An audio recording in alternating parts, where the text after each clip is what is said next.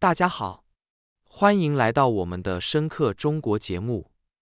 今天我们将探讨北京在有争议的永兴岛上开设五金店的最新动作。这家新义五金店坐落于西沙群岛的永兴岛，北京政府借此进一步巩固在这一战略重要水域的主权。永兴岛上各类民用和军事设施不断增加，包括邮局、银行、学校和军用机场等，甚至还部署了红旗负九的对空导弹。这次开设五金店的行动，再次引发了越南等国的抗议。请大家继续收看详细内容。在浩瀚的南海之中，永兴岛这个名字早已成为中越关系的一个敏感点。这个仅有一点八平方公里的小岛。簇拥在西沙群岛的怀抱中，犹如一颗闪耀的珍珠。然而，这颗珍珠的光芒却因复杂的主权争议而显得格外耀眼。就在最近，北京在永兴岛上又增添了一道新的风景线——一家五金店。这家名为新义五金店的店铺面积约为一百平方米，位置极为显眼，紧邻三沙永兴机场货运码头。自开业以来，这家店铺不仅为岛上的居民和驻军提供了便利，同时也成为了外界关注的焦点。三沙市政府发布的消息称，这家五金店提供了数千种不同的产品，包括电器、消防设备、水管、门窗配件和油漆等。三沙天晴服务管理有限公司副经理王海龙透露。他们花了约两个月的时间进行市场调研，详细了解了岛上和附近士兵及居民的需求，才决定了这些商品的种类。永兴岛距离海南省南部约三百公里，是西沙群岛中最大的岛屿。这片群岛虽由中国控制，但台湾和越南也声称对其拥有主权。为了巩固在这片战略重要水域的主权，北京在二零一二年宣布在永兴岛设立三沙市。负责管理南海的多个争议岛屿和地貌。自此之后，北京不遗余力地建设永兴岛上的各类民用和军用设施。中国媒体曾形容永兴岛为南海上的不沉航母。这一称号不仅反映了岛屿的战略重要性，也展示了中国在南海的野心。二零一七年，以色列一家卫星影像公司曾拍摄到永兴岛上部署了红旗九地对空导弹。尽管北京尚未确认这一部署，但这无疑增加了岛屿的军事含义。岛上的基础设施一应俱全，邮局、银行、气象观测站、学校、图书馆、公园、医院和发电厂一应俱全。它还拥有一座民用和军用机场，三千米的起飞跑道可以容纳满载的波音七三七客机，五千吨的码头更是满足了大型船舶的停靠需求。根据二零二零年十一月的人口普查，永兴岛的常住人口达到了两千三百三十三人。然而，永兴岛的每一次基础设施建设，几乎都会引发周边国家的强烈反应。二零二二年四月，当岛上开设了一家火锅店时，越南方面表达了强烈的不满。越南外交部当时表示，正在努力确保其对水域的主权和管辖权，以保护其合法权益。永兴岛的每一步发展都成为了中越关系中的一个重要环节。此次五金店的开设，表面上看似一件小事，但背后却隐藏着复杂的地缘政治博弈。South China Morning Post 在报道中指出，这家新义五金店不仅是为岛上的居民和驻军提供生活便利，更是北京扩大民用设施的一部分策略，旨在进一步巩固对南海的主权。在这个资源丰富。地理位置极其重要的水域中，中越两国的角力从未停止。南海作为全球最繁忙的航道之一，不仅蕴藏着丰富的渔业资源，还有可能的石油和天然气储备，这使得各国对其主权的争夺更加激烈。面对这样的复杂局势，北京的策略显得深思熟虑。通过不断建设民用设施，不仅可以满足岛上居民的生活需要，更可以展示其对南海诸岛的实际控制权。这种软实力的展示，虽然不像军事部署那样直接，但同样具有深远的影响力。另一方面，越南也不甘示弱，河内政府多次公开声明，强调其对南海诸岛的主权，甚至在国际场合呼吁各国关注南海问题。在此次五金店开设的消息传出后，越南方面再度表示将继续努力确保其对相关水域的主权和管辖权。南海这片美丽而又争议不断的海域，注定成为中越两国长期博弈的舞台。永兴岛上的五金店，从某种意义上来说，已经不仅仅是一家普通的商店，它象征着北京在南海的坚定立场和战略布局，同时也提醒着世人。南海之争远未结束，未来永兴岛会发生什么？南海局势将如何演变？仍然是一个充满变数的问题。然而可以确定的是，北京在南海的每一步动作都将引起国际社会的广泛关注。而永兴岛上的这家五金店，或许只是这场复杂游戏中的一个小小棋子，但它的重要性却不容忽视。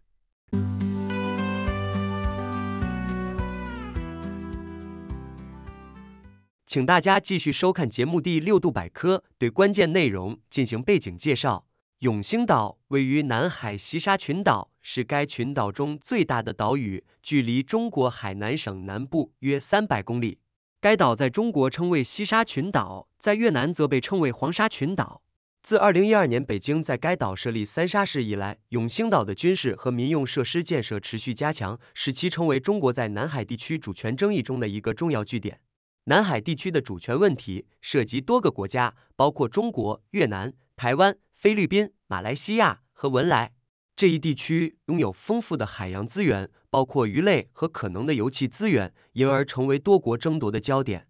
北京在永兴岛上不断扩建民用和军事设施，意在巩固对该地区的主权声索。永兴岛上的基础设施建设相当全面，包括邮局、银行、气象观测站、学校、图书馆。公园、医院和发电厂等。该岛还拥有一个民用和军用机场，跑道长达三千米，可容纳满载的波音七三七客机。此外，岛上还设有一个五千吨的码头。这些设施不仅满足了驻岛人员和居民的需求，还增强了中国在南海地区的军事投射能力。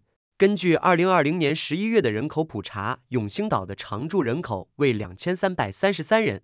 这些居民包括军事人员、政府工作人员和其他服务人员。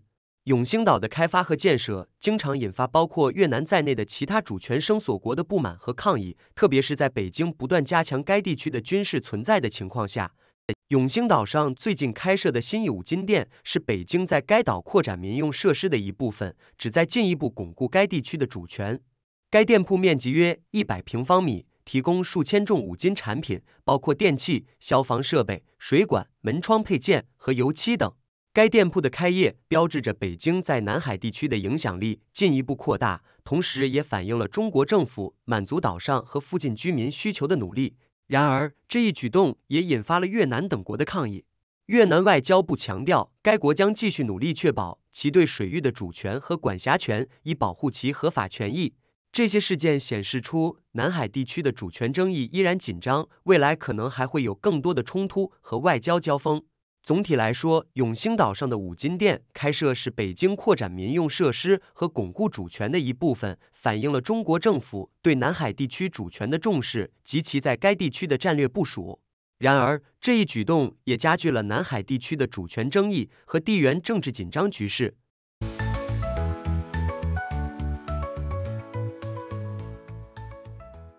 欢迎大家进入六度探索的辩论环节，我们从正反两个角度对本节目进行辩论，请出我们的辩论高手楚天舒、谢琪琪。我是楚天舒，我是谢琪琪。哈哈，这真是一个多功能的岛啊！开个五金店，居然也能引起这么大的波澜。先不说这家新义五金店如何，单单是北京在永兴岛上开设各种民用设施，就已经令人刮目相看。从邮局到火锅店，这些设施都显示了中国在这片海域上的长期投资和存在，不仅为当地居民提供了便利，也在强化中国的主权声索。这可真是妙招，让别国抗议的鼻孔冒烟又无可奈何。事情越搞越大，北京的目的也就越明显。这里就是中国的地盘，来抢啊！有本事你来试试！哈哈哈！哎呀，楚天舒，你也太乐观了吧！在有争议的永兴岛开五金店，这不是等于在别人家院子里搭帐篷吗？这叫什么民用设施？就是在明目张胆的扩张吗？越南可不是吃素的，河内一早就对这一举动表示强烈不满。这动作无疑是给自己找麻烦，国际社会也不会坐视不理。更何况，这个五金店能够卖出的产品数量有多少？岛上就那么几个人，能买多少五金？这根本就是象征性意义大于实际利益的行为，纯粹是政治表态。说白了，就是挑衅。哈，谢琪琪，你这话听着有点酸啊。来来来，咱们来谈谈历史，看看中国在南海这块地方上的根源。这可是三国时期孙权的战将甘宁都曾经涉足的地方。历史上，中国一直在这片海域上有活动，这不是一朝一夕的事情。再说了，五金店只是其中的一环，先有邮局、银行，后有火锅店，现在再来个五金店，这叫步步为营。你说这是挑衅，那我说这是一步一个脚印，把国家主权实实在在的落在地上。这些设施的设立，正是让每一个宣称对这片海域有主权的国家明白，中国不是说说而已，是认真的。哎呦，楚天舒，你还真会扯历史啊！可是别忘了，历史是复杂的，南海的争议可不单是中国说了算。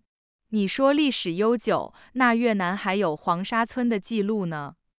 再来谈谈实际数据吧。国际法院在二零一六年就已经裁定，南海仲裁案中，中国对于九段线的主张没有法律依据。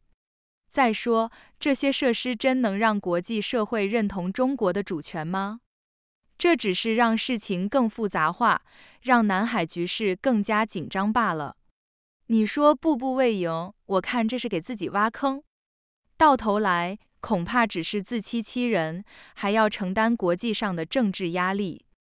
琪琪，你说的国际法院裁定我可没忘，可问题是那个裁决谁来执行呢？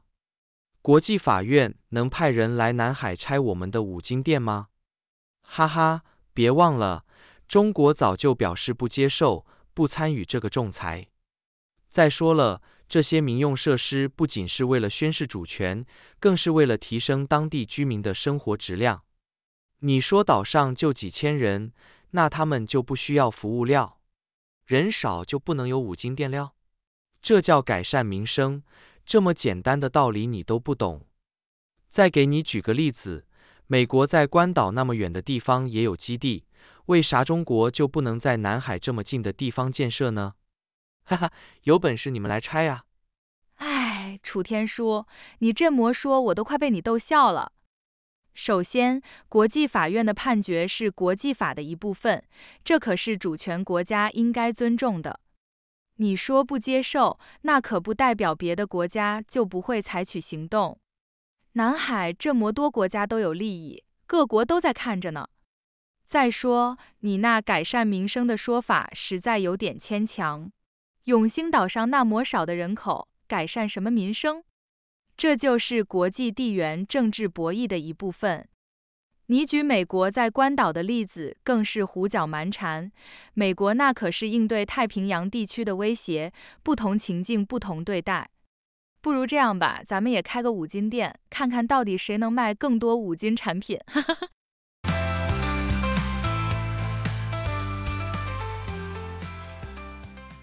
请大家继续收看节目的六博士的分析评论。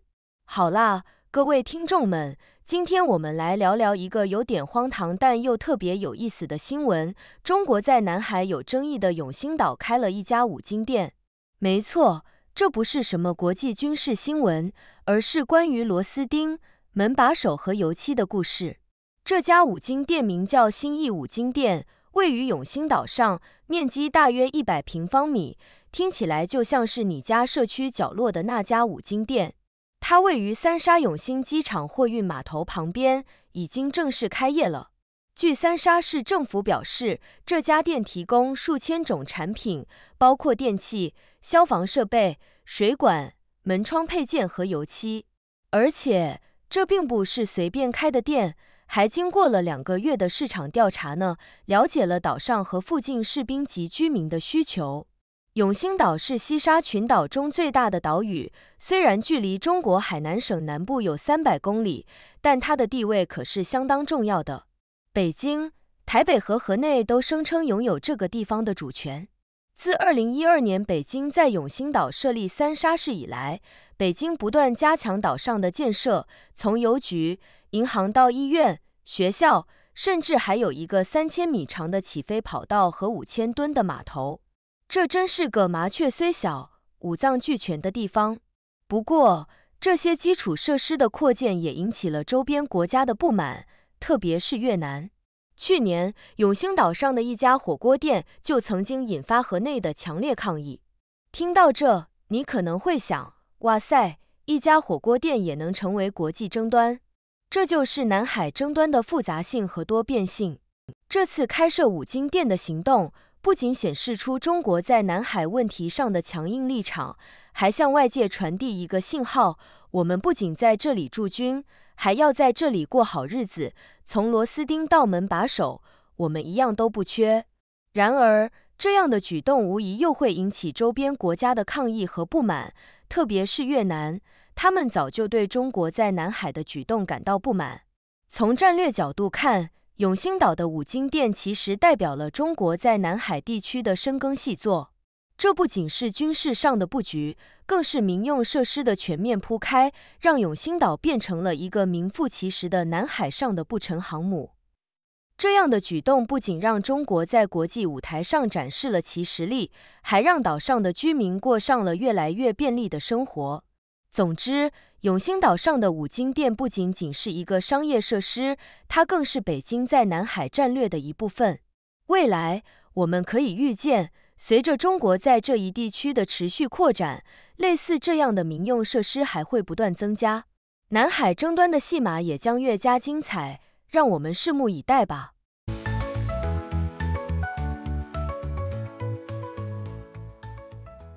思想先驱报。成为有洞察力的人。华尔街电视特别节目，纽约时间每天早上八点，李奇博士主持。和平评点。谢谢大家收看六度探索。这是一个由科学家、经济学家、媒体人、工程技术人员合作建立的新型媒体。网友与六度 AI 参与合作完成各种内容，这些内容不能作为任何决策或法律的意见。这是一个新型的试验性媒体方式，我们希望得到大家的支持，修正错误。网友可以参与讨论，也可以向万能的六博士提出你能想出的任何问题。六度世界网址是六 do world，请介绍给你的亲朋好友。